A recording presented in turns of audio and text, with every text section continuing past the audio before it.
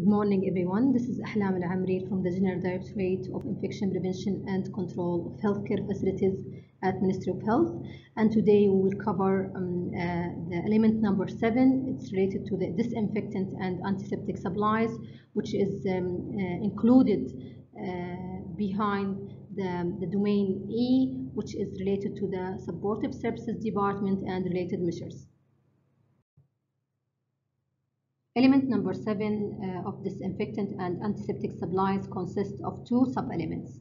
And uh, uh, when we are evaluating or auditing uh, these sub-elements, uh, the activities it will be around the document review, staff interview, and observation, which is um, the alternative word or letter for the document review is letter D, SI for the staff interview, O for observation.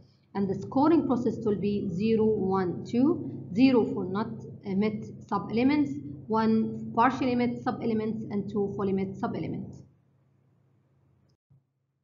Sub-element E-7.1, it's related to the infection prevention and control team, is involved in the evaluation and purchase of antiseptics and disinfectant supplies. So in this sub-element, we will evaluate the, this, uh, specific statement by using two um, methods of activities, document review and staff interview. The first activity for evaluating uh, this sub-element it will be about the document review. So um, we'll review the following documents uh, such as the, the request that um, uh, sent from the hospital leader such as the hospital CEO, medical director, head of medical stores, head nurse, or head of housekeeping staff, or head of CSSD, and etc. So they are requesting and sending emails or requests uh, to the infection prevention and control uh, department and request them and ask them uh, for their um, evaluation and uh, recommendations uh, regarding a specific um, uh, antiseptic or infection prevention and control related supplies. So the document uh, review method uh, for uh, auditing this sub-element, it will be through the request as we mentioned in the first the previous slide.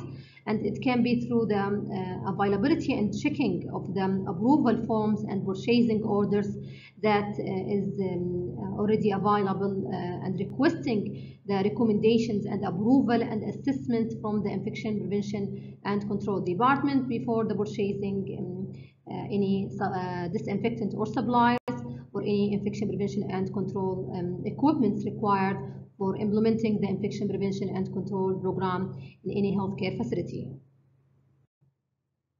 Another activity or method used for evaluating uh, the sub-element uh, E7.1 is through the staff interview. So the staff interview can be through asking and staff interviewing with a specific responsible department or healthcare worker. For example, by asking or interviewing the head of IPC department about the process of assessment and approval uh, before purchasing any new equipment or antiseptic or disinfectant used um, uh, for implementing the infection prevention and control program in the healthcare facilities. And also uh, it can be um, uh, asking or staff interviewing with the head of medical stores about the process of purchasing uh, of any new equipment or antiseptic or uh, disinfectant uh, solution required for disinfection and um, cleaning in the healthcare facilities. And it can be through um, asking or staff interviewing with the head nurses in a specific department or the head of the CSSD department regard the uh, supplies required or solution required for implementing the effective and appropriate uh, uh, disinfection and sterilization process in the CSSD department. The second sub-element, uh, which is uh, E7.2, it states that antiseptic disinfectant and detergent disinfectant are used in accordance with the current scientific guidelines and recommended practices. And this sub-element will be evaluated or audited through document review, observation, and staff interview. So the first activity it will be about uh, reviewing of the available document in the infection prevention and control department.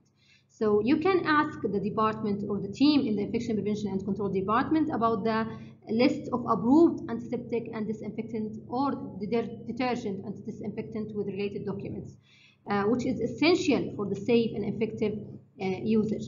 So uh, you can uh, check the, the material safety data sheet attached to this list, the EPA uh, approval for this list, and also if uh, we can compare if this list is uh, is based on the current scientific guidelines and recommended practices and approved by the MOH. The second method uh, for auditing this sub-element E7.2 is through the observation. So uh, the auditor can observe different departments, especially clinical areas, to ensure that the available disinfectant or antiseptic are is based on the list that observed or, or, or checked in the infection prevention and controlled uh, department and consistent with that reviewed list and also uh, to check that or observe that the use of antiseptic and disinfectant or the de detergent disinfectant in different clinical areas is according to the instruction listed in the material safety data sheet. For example, if we are checking the quaternary ammonium fourth generation and it was listed in the approved list of the uh, approved disinfectant uh, by the infection prevention and control department, we can check the material safety data sheet to check if the cleaner or housekeeper there are they using that the same uh, disinfectant quaternary ammonium based on the uh, uh, manufacturer instruction for the dilution and contact time.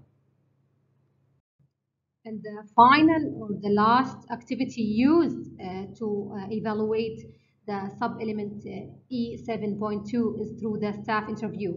So the auditor can interview uh, with the IPC practitioners in the infection prevention and control department to confirm that they are familiar with the guidelines for different antiseptics uh, based on the approved list. And also they can interview with the staff involved uh, in the use of the antiseptic, for example, the housekeeper staff in different clinical areas, uh, and to check if they are familiar with their guideline for use and aware about the material safety data sheet instructions in regard of usage and storing and dilution and contact time of a specific solution or disinfectant or antiseptic. Thank you so much for listening for this uh, session. And if you have any inquiry or question, please do not hesitate to contact us at any time uh, through the coordinator of the auditing uh, uh program at the GDIPC or through the coordinator at the Regional Directorate of Infection Prevention and Control in your region. Thank you so much.